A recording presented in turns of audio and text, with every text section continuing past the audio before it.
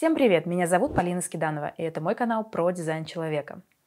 Недавно на моем канале вышел ролик про спорт в дизайне человека, и он вызвал просто огромный ажиотаж и фурор. Я вижу как вам откликнулась эта история, насколько вам интересно было узнать, какой спорт, какую нагрузку, какую активность по дизайну человека вы можете подобрать для себя, чтобы это было максимально комфортно для вашего тела. И я подумала, что очень интересно и очень правильно продлить эту тему продолжением этого ролика про лишний вес и то, как мы найдем ему объяснение в дизайне человека.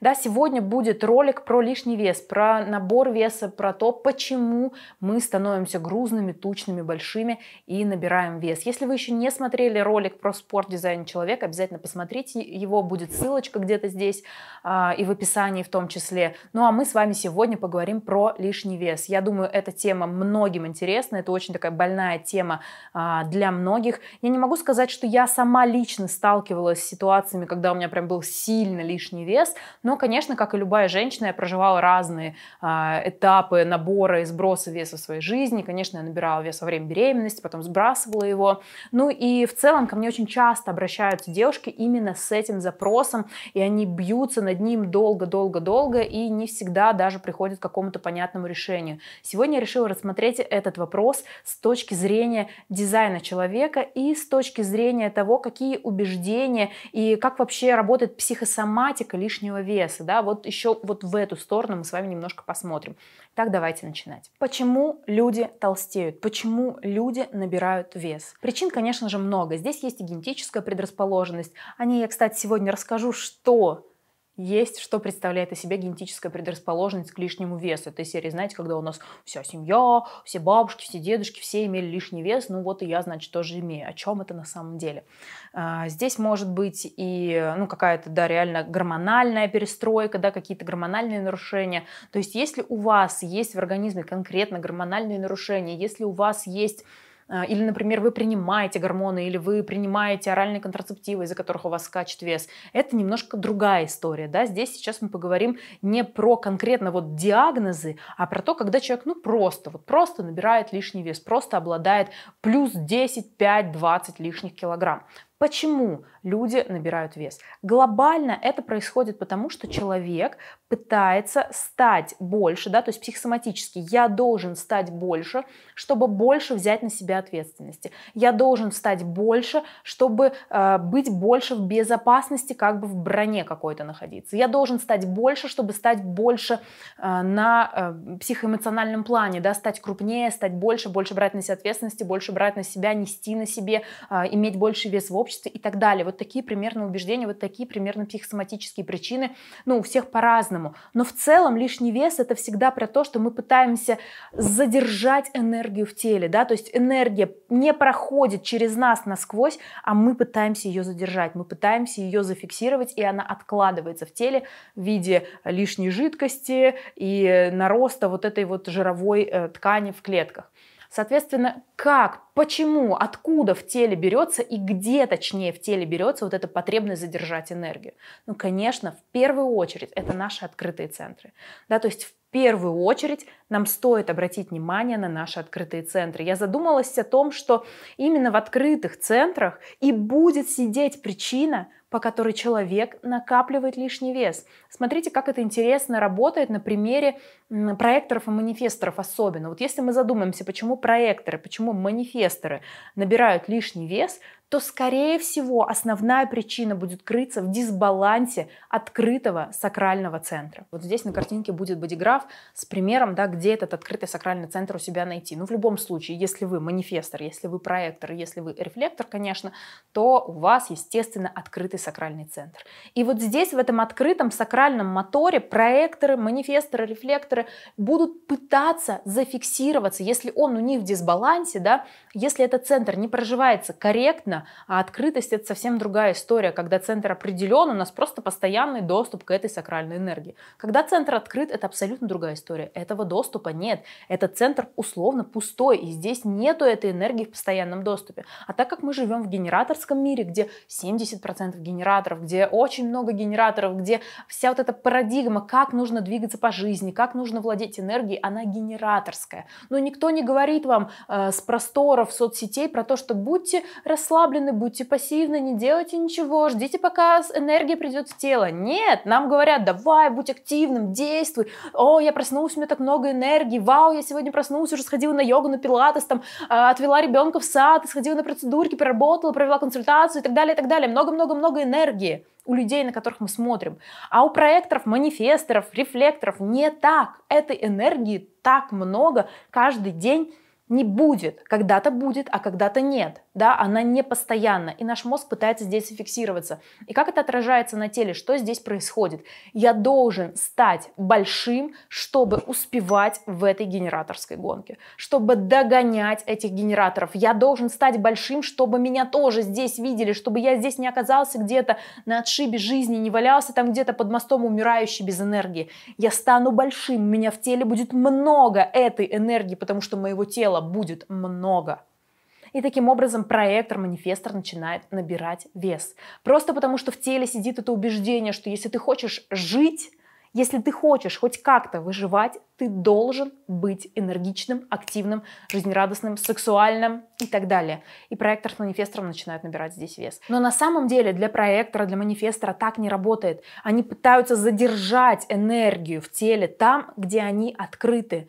То есть там, где эта энергия должна проходить через них, там, где они должны спокойно с ней расставаться – они расставаться с ней не хотят, они пытаются ее задержать. И для этого тело физически наращивает объем, наращивает броню. Моего тела станет много, энергии вот этой будет много. На самом деле так не работает. Так не работает для проекторов, так не работает для манифесторов. Чтобы отпустить эту историю, вам нужно обратить внимание на то, как вы проживаете свой открытый сакральный центр. А в балансе это будет спокойное отношение, легкое отношение к уровню энергии. Я знаю, когда стоп. Вот сейчас есть энергия, я действую. А когда нет энергии, я не пытаюсь ее задержать жадно в себе, удержать какими угодно путями. Я не пытаюсь сделать вид, что она есть. Я просто не действую. Да, это сложно, потому что, как я уже говорила ранее, парадигма гласит нет, вы все должны быть энергичными всегда. Но благо у нас есть дизайн человека, который отвечает нам на этот волнующий 30% населения Земли вопрос, что же делать, когда у меня нет энергии. Ничего, ничего, ничего. Делать то, на что энергия есть. Ничего не делать, просто лежать, отдыхать быть более пассивным. Это нормально для вас, это окей для вас, с этим можно жить, вы не умрете голодными под мостом без энергии. Задумайтесь о том, что вот эти убеждения, они ведь реально идут э, из поколения в поколение. Хочешь жить, умей вертеться. Это не истина, это неправда, это не всегда так работает. Если вы прямо сейчас готовы от этого убеждения отказаться, если вы прямо сейчас готовы сказать, что чтобы выжить, надо быть энергичным. Чтобы выжить, мне надо работать очень много. Кто много работает, тот много э, получает. Э, спящему достаются только сны. Да, вот такая вот еще есть классная поговорочка тоже интересная. Спящему достаются только сны с таким негативным да, подтекстом. Если вы прямо сейчас готовы от этих убеждений отказаться, выпишите те, которые вам откликаются в этой истории. Выпишите те убеждения про энергию, про жизненность, жизнеспособность, про работоспособность, про свою сексуальность в том числе. Потому что на теме сексуальности тоже висит открытый сакральный центр, и здесь тоже проектор, манифесторы будут пытаться зафиксироваться. Смотри, какой я сексуальный, смотри, какое у меня тело. Но здесь, конечно, скорее уход будет не в лишний вес, а наоборот, там, в потерю веса или в, в какие-то, в какое-то неудовольствие просто своим телом, бесконечную работу над своим телом и изнурение его. Ну, вряд ли здесь прям еще и лишний вес может быть. Хотя может быть и такое, да а, вот выпишите все эти убеждения, которые вам откликаются, и откажитесь от них, да, замените их на продвигающие, замените их на то, что вам служит и то, что подходит вашему телу, вашему дизайну, потому что в балансе, еще раз, да, открытый сакрал — это знать, когда остановиться, это спокойно относиться к тому, что когда-то у меня есть энергия, а когда-то у меня энергии нет, она не постоянно в моем теле, здесь нет постоянного доступа к энергии. Хорошо, про открытый сакрал, я думаю, достаточно рассказала. Если будут еще вопросы, задавайте обязательно комментарии, давайте эту историю обсуждать. Дальше, следующий крючок, который будет задерживать много энергии в теле, и он не только уже про проекторов, манифесторов, рефлекторов, а про всех вообще, это, конечно же, открытый эго-центр. Ну, здесь я про него уже много чего говорила, но еще раз теперь с точки зрения лишнего веса. Этого товарища я уже ему косточки обмусолила со всех сторон, но не, про, не перестану об этом говорить, потому что это такой крючок, который цепляет нас, буквально затягивает вот в этот подвал ложного я. Что же здесь будет? Здесь очень легко на самом деле человек несет на себе очень много ответственности. И открытое эго будет накидывать на себя много-много-много-много ответственности, особенно если он в связке с открытым сакралом, то здесь набрать на себя ответственности, набрать обязательств, набрать работы, как вот на этом бодиграфе, например, да, здесь открытый сакрал и открытое эго одновременно. И вот для такого человека будет набрать на себя работы, набрать на себя дедлайнов, обязательств и пытаться изо всех сил их э, выполнить, и потом лечь и умереть просто от э, того, что все, тело у меня уже умирает. Это прям классика. И у такого человека может быть лишний вес, потому что, чтобы нести на себе эту ответственность, я должен быть большим. Чтобы взять на себя всю эту ответственность, я должен быть большим, огромным. И я физически становлюсь больше. И особенно, особенно, на мой взгляд, а, сильно будет влиять, если в этом открытом эго-центре определены сороковые ворота и двадцать первые ворота. Сороковые ворота говорят, я должен э, создать это, это, это для моей семьи, я набираю свой лишний вес. Да, я становлюсь более ответственным, становлюсь больше. Э, двадцать первые ворота, я должен все держать под контролем. А чтобы все держать под контролем, я должен быть большим я должен наращивать обороты, да, я должен наращивать свою массу, и человек набирает лишний вес. Вот таким образом открытый эго-центр может стать причиной того, что у вас есть лишний вес, если вы проживаете его в дисбалансе, если вы пытаетесь зафиксироваться вот в этой истории, что я могу создать, сделать и чего я могу добиться в материальном мире. Здесь, безусловно, тема достижений. Да, вот когда мы связываем наши достижения и нашу ценность, и тогда, когда эго открыто, достижения не всегда удаются, не всегда это происходит легко, и, соответственно, наша ценность падает. То есть я чего-то не достиг, значит, я не ценный. Значит, мне нужно поставить себе достижение еще выше, еще больше, или, ну да, чтобы не скатиться совсем в депрессию, и пытаться достигать его изо всех своих сил. Соответственно, здесь эту связку для открытого эго, да и вообще для любого человека, на самом деле, надо разорвать. И фраза защитницы здесь «моя ценность не равно мои достижения». Да? Я повторяю ее из раза в раз, каждый раз на чтениях, на консультациях, в своем курсе. И вам здесь на ютубе тоже очень много ее повторяю. «Моя ценность не равно мои достижения». Я рекомендую э, сделать себе заставку на телефон, какую-нибудь красивую картинку или свою фотографию, и вот эту фразу написать на ней и прям поставить себе на заставку, чтобы каждый раз себе об этом напоминать, чтобы изменить уже это убеждение наконец-таки. И вот если возвращаясь к тому, тому, что у меня генетически много лишнего веса, да, у всей моей семьи лишний вес, вся моя семья с лишним весом, и я тоже буду. Так это не, это не генетика э, в плане физики, это генетика в плане убеждений. Вам просто по наследству передались эти убеждения. Чтобы все контролировать, мне нужно быть большим. Да, я должен все контролировать, а чтобы это сделать, я должен быть большим. Да, чтобы добиваться целей, чтобы достигать чего-то, мне нужно брать на себя больше, больше, больше, больше ответственности. Подумайте о поколении наших родителей или о родителях наших родителей, особенно о женщинах того поколения. На них ведь лежало очень много ответственности за детей, за мужа, за то, чтобы у семьи были деньги. Ну, чего я вам рассказываю, да, вы сами это знаете, какую огромную ответственность несли на себе женщины в то время. И у них сложились эти убеждения и эти убеждения передались вам по наследству. Просто э, через видение того, как поступает моя мама, как действует моя бабушка, и я тоже так должна, я должна соответствовать. И это нормально, это нормально. Но сейчас вы имеете возможность эти убеждения рассоздать и начать жить по-другому, и начать проживать свой открытый эго-центр в балансе.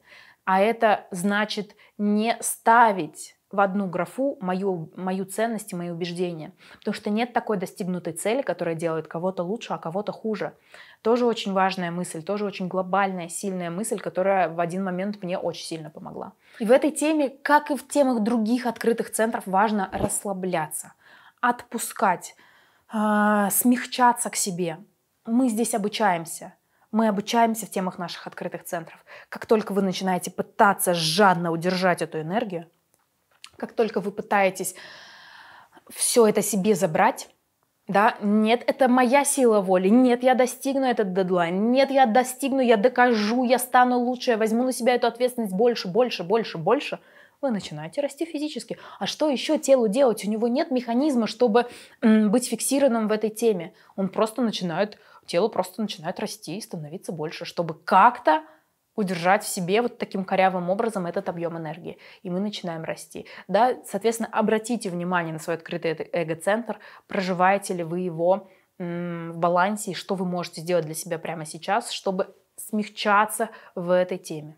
Ну и третий центр, который, безусловно, наверное, чемпион по наросту лишнего веса в этой троице. Он э, на последнем месте, но не последний по значимости. Это, конечно, эмо-центр наше солнечное сплетение, наши эмоции. А, наш эмо-центр в том числе отвечает за пищеварение. И вот все, что связано с заеданием каких-то эмоций, э, с заеданием проблем, с перееданием, да, вот любые расстройства пищевого поведения, это все отсылки к эмо-центру. Эмо-центр, он также про то, как мы перевариваем эмоции. И если у человека эмоцентр в дисбалансе, он не знает, что делать с эмоциями, то ему тяжело их переваривать. Ему тяжело с этими эмоциями жить, он не знает, что с ними делать. И один из способов защититься от этих непонятных, неприятных эмоций – это наращивать броню. Буквально физически наращивать броню, становиться толстокожим, ну и, соответственно, становиться больше. Да, вот так из-за дисбаланса в открытом эмоциональном центре, особенно если там 55-е ворота, 19-е ворота, 30-е ворота в открытом э, эмоцентре, вот тут вот будет склонность к тому, вот, да, все, что на корень смотрит, давление с корня может идти, и вот здесь вот прям склонность к тому, чтобы м-м, я не знаю, что с этими эмоциями делать, м-м, я не знаю, как их переварить. Я либо а, проглатываю эти эмоции, например, да, проглотил обиду и не знаю, что с ней делать, она варится у меня внутри, и тоже нарастить как бы броню, такой сейф вокруг этой обиды, чтобы она там лежала да покрепче. Но обида, конечно, в первую очередь может вызывать онкологию. Да, вот если м- с точки зрения психосоматики, глобально, да, вот в сухом остатке, я понимаю, я не специалист психосоматики, но все-таки в этом разбираюсь. Глобально обида – это путь к онкологии, к сожалению. Но и побочным эффектом также может быть лишний вес, да, набор веса. Проглотил обиду, не знаю, что с ней делать, выращиваю вокруг нее сейф, шкаф, что-то огромное, чтобы она сидела во мне и там во мне варилась, вот все вот это проходило. Опять-таки причина в чем? Не пропускаем эту энергию через себя, пытаемся ее в себе как-то задержать, не знаем, что с ней делать. И здесь фразы спасительницы будут «я сита», «я дуршлаг», «я решето», «я пустая», я пустая, почувствуйте себя эмоционально пустыми, пропустите эту энергию через себя, не пытайтесь ее задержать в себе. Вот я проглотила эту негативную эмоцию, я буду с ней вариться долго-долго-долго-долго. Да в открытых центрах мы обучаемся, ведь мы пришли сюда, чтобы обучаться, быть студентами в наших открытых центрах. Когда вы учитесь в университете, в каком-то вузе, вы же не носите с собой эти учебники и тетрадки по какому-то предмету до бесконечности в своей сумочке. Вы взяли учебник в библиотеке, прочитали его и положили на на полку дальше. Пошли, пошли дальше. Не носите вы этот учебник с собой в сумочке. Не знаете вы о том, что он постоянно должен быть с вами. Также здесь, также работает и с эмоциями пропустите через себя. Да, вы изучаете, о, интересно, вот так вот, такая может быть эмоция, вот такие чувства может проживать э, человек рядом со мной или я сам. Но дальше я отпускаю это, потому что я пустая. Мой открытый эмоцентр, он пропускает эту историю через себя и не задерживает эмоции. Да? Вот это может быть большой причиной лишнего веса. Не знаю, что делать с эмоцией. Когда-то сто лет назад кто-то меня там однажды обидел, сказал мне что-то негативное, я почувствовала негативную эмоцию, и я дальше не знаю, что с ней делать, потому что мой открытый центр а, эмоций а, не, ну, не, не знает, как ее переварить. Мой ум не дает этой эмоции выйти. Он не дает ее просто отпустить. Он говорит, нет, дружочек, это наше, давай в этом вариться, давай в этом ковыряться. Вот так, вот так, вот так холить, лелеять эту эмоцию. Ведь мы что тогда зафиксируемся здесь, так будет как будто безопасней. А на самом деле это создает кучу-кучу-кучу проблем, в том числе проблемы с лишним весом. То есть, опять-таки, на нас очень сильно влияет, что мы живем в мире, где эмоции стоят на пьедестале. Мы смотрим кино, мы читаем книги, мы читаем романы, где куча эмоций, где такие всплески, такие качели. И нам кажется, что это то, кто мы есть. Это вот то, чем я являюсь. Эти эмоции, вот эти эмоции, которые я проживаю, это прям я. Я, а, когда училась в университете, еще до того, как я познакомилась с дизайном, где-то там с 18 до 21 года, до 22 лет, я считала себя очень эмоциональным человеком. У меня даже до сих пор ВКонтакте в графе о себе стоит э, такая фраза полная гипертимность, гипертимность полная. Чтобы вы понимали, да, гипертимия – это когда у тебя всегда супер приподнятое повышенное настроение, хорошее, классное, ты всегда такой на веселе.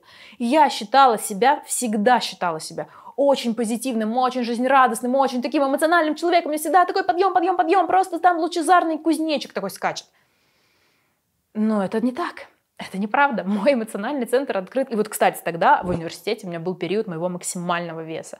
Хотя ну, так, не сильные такие колебания, все-таки я занималась спортом, я как-то сразу начала с этим работать, да, через тело, через физику. Но вот тогда я прям начала сильно резко набирать э, вес. Когда я познакомилась с дизайном, я поняла, что я не такая уж эмоциональная. Мое агрегатное состояние — это ну, не сильная эмоциональность, это ровненькое, слегка приподнятое настроение. Мне не надо быть сильно эмоциональной, это не то, кем я являюсь. А ум очень хотел там зафиксироваться, и мне было очень классно, что я вот такая эмоциональная. Я даже в графу о себе это написала. То есть для меня это было основное, кем я являюсь.